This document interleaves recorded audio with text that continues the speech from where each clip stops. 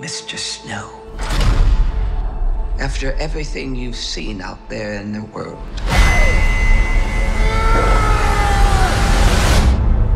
what are the Hunger Games for? Are you, are you coming to the tree? The Hunger Games, they're to punish the districts. Those tributes don't have a choice. Your role is to turn these children into spectacles, not survivors. So we both be free. We're live!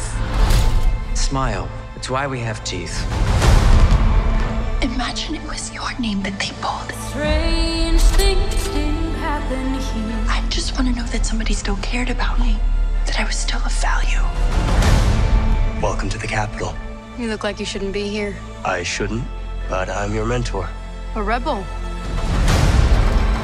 I am gonna get you out of here.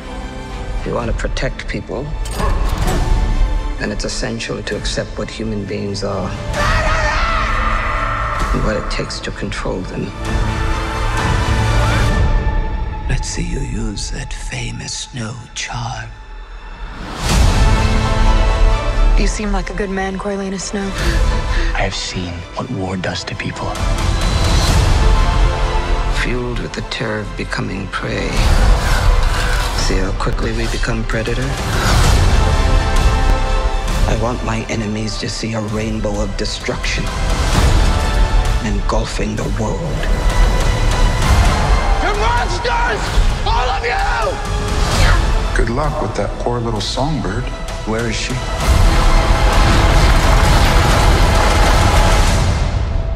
It's a mystery. And mysteries have a way of driving people mad.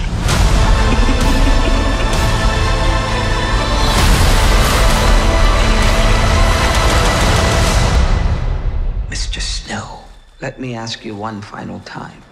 What are the Hunger Games for? Hanging.